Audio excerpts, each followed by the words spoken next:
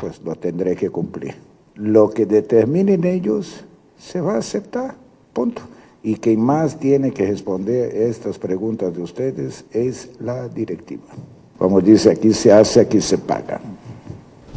La justicia eh, ya la aplicaron, ahora nosotros tenemos que ver si vamos a apelar ante el Comité de Apelaciones o, o no. La resolución no se tomó en base a hechos, sino en base a promesas. Nuestro siguiente paso es el comité de apelaciones, no hay ningún otro adicional, es el definitivo. Tenemos 48 eh, horas y tienen que decidir de aquí al viernes. Nosotros no fomentamos, no organizamos, no les damos un boleto, no les eh, organizamos el autobús, no les facilitamos la compra de boletos, hacemos absolutamente nada. Bueno, ya hablamos del Veracruz, ahora estamos hablando de lo que pasó con Tigres. El presidente de Tigres, el ingeniero, dice, no estamos de acuerdo, vamos a apelar. Nosotros no promocionamos a nadie, no damos boletos, no damos boletos de avión, no damos un solo viático, no damos nada. Simplemente nuestra afición va a los estadios. Que después termine peleándose algunos de esos aficionados con los contrarios es diferente. Y lo del Tuca no nombró nada del Tuca, pero dice que van a apelar dos partidos al Tuca por agredir o, agredir, o jalonear o tocar a una autoridad que es un policía, un policía en ese momento, y por provocar posiblemente a alguien que estaban golpeando en la tribuna o por tratar de defender desde el campo a alguien que estaba tratando en la tribuna. Por decir los esperamos allá. O por decir los esperamos allá. Bueno, ¿está bien apelar o no está bien apelar? No, creo que no tendría ningún sentido. El mismo Ferretti ya dice dirigir desde la tribuna, no, no, es gran castigo ese tampoco. El, el, pésimo mensaje es el que das diciendo Ferretti es más responsable que el estadio o que la directiva de Veracruz o que las barras o que la gente. Ahí sí está eh, muy equivocada la, la decisión. Pero por otro lado, porque este es otro de los frentes, me gustaría ver de los protagonistas otra actitud asumimos el castigo. esta, tranquilidad, esta tranquilidad de Ferretti ahora sí le faltó ese día. Claro. Por supuesto que se equivocó con la actitud que tomó, como se equivocó Gignac. Los protagonistas también tienen que entender que en la parte que les corresponde tienen que manejarse muy distinto en la cancha, porque lo que ellos viven en la cancha se procesa de muy diferente forma en las tribunas. En la cancha lo que tú le dices a un rival se soluciona ahí en el mismo partido, ahí se dirime deportivamente. En la tribuna ahora es con picayelos y con botellazos. No, en la tribuna hay descontrol. Los protagonistas protagonistas también tienen que asumir la responsabilidad, entender este mundo violento en el que viven, este país violento, como bien dice David, que no es el mismo de hace 20 años, no nada más son las barras, hay una cultura de la violencia que antes no prevalecía. Como protagonista del juego, asume tu responsabilidad, entiende cuáles son los mensajes que debes de mandar y en este caso Ferretti tendría que reconocer, me equivoqué, sí, me calenté y me desesperé porque estaban golpeando a alguien, pero no es la actitud correcta la que él tomó. Sí, hablen con mi directiva. ¿Y la directiva qué dice? Vamos a apelar. O sea, la directiva está pensando en que van a apelar. no es correcto, José Ramón. Van a ver, está mal, van a ver cómo fue para ver si Hombre, Y es que es tan sencillo que no te castiguen que pues, apelo. yo voy a, como, no pasa nada, voy a apelar. Si a Morelia no lo, este, no lo castigaron, no lo vetaron en el estadio, pues yo voy a apelar a ver si te escuchamos, David. Mientras nos permita, Ángel, te escuchamos. Yo esperaría, no, yo, yo esperaría no, no, yo esperaría, José Ramón, eh, lo dice, me parece que también lo dijo Roberto, otro tipo de comportamiento también de los dirigentes del fútbol mexicano, de Fidel Curi, del propio ingeniero Rodríguez, con la responsabilidad que significa ser presidente de un club. Son presidentes de un club. Un club tiene mucho poder, tiene mucha popularidad, tiene una capacidad mediática, representan a muchas personas. Tendrían que tener otro tipo de mensaje. Estamos preocupados por lo que pasó, vamos a investigar hablaré con nuestros aficionados, trataré de poner una campaña de prevención. La violencia no es justificada de ninguna manera. Lo primero que dice Ingeniero Rodríguez hay que apelar. Lo primero que dijo el diputado Puri es, Curi, nosotros no tenemos la culpa, la culpa es de ellos, nos provocaron, presentó videos, pruebas.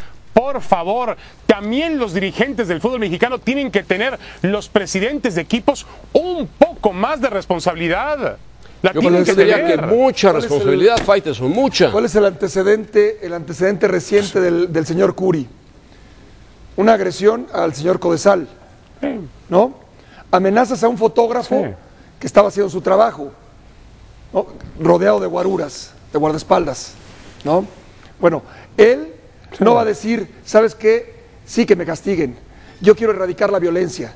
Sí que castiguen a mi estadio porque no tuvimos las medidas de seguridad adecuadas para un evento, para un eh, espectáculo donde abundan las familias, donde están las familias.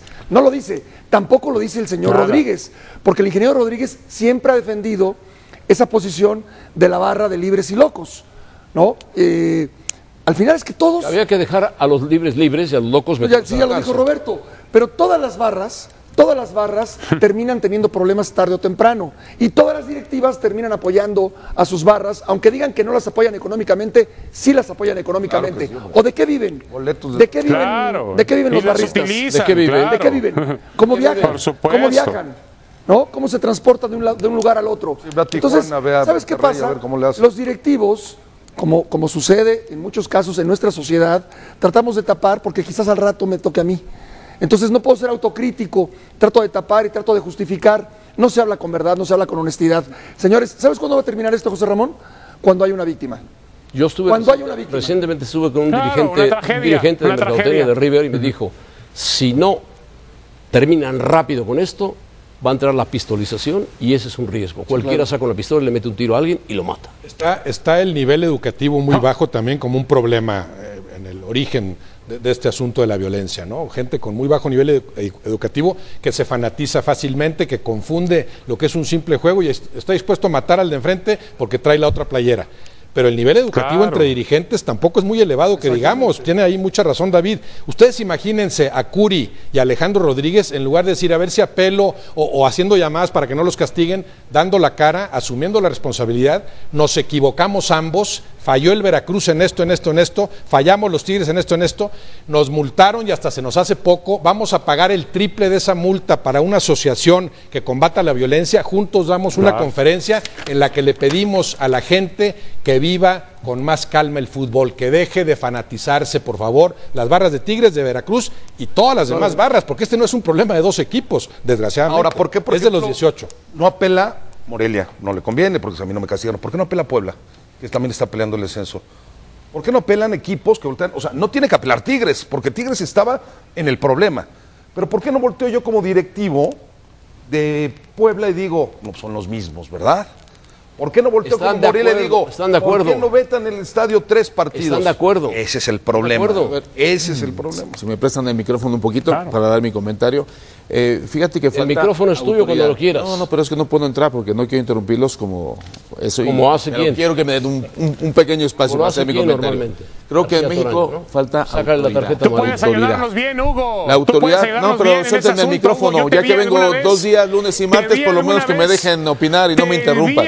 Alguna vez hablando, dándole instrucciones a la porra de Pumas cuando eras técnico de Pumas. Tú puedes hablar bien del tema, la influencia de los de las porras, de los porros que hay también. Ah, pues es interesante. Si me dejan, si me dejan, Ángel, por los entrenadores. Con, las porras, ¿te reunías con las porras, con los porros? Sí, sí, yo a los líderes de, de las porras de Pumas les dije, si hay violencia en el estadio, renuncio y me largo de, Pumas. Pero ese es otro tema que lo hablamos en otro momento. Lo que quería comentar es que... Es un tema interesante. sí, bueno, ya lo hablamos cuando quieran, como hablé lo de la Comisión de Antiviolencia, que entre los senadores, diputados y... Deja a los políticos afuera. Bueno, autoridad en el fútbol mexicano no hay, no hay autoridad. Ni a nivel policial, no hay autoridad. Vemos a Tuca que estaba ahí jaloneando ahí a una persona y yo creo que por eso... A un policía. A un policía. Entonces, son mm, de, eh, demostración violenta y creo que violencia con más violencia no se va a solucionar el tema. Sí tiene que haber autoridad.